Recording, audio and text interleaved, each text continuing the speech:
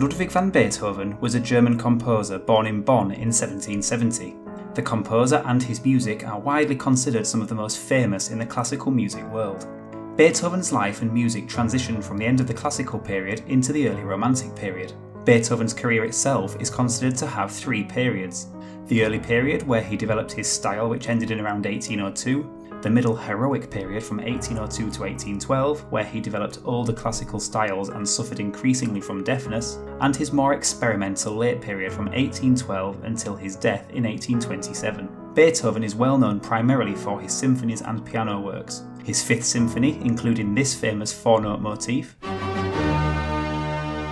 and his Ninth Symphony, incorporating the even more famous Ode to Joy, rank amongst the most well known pieces in classical music history.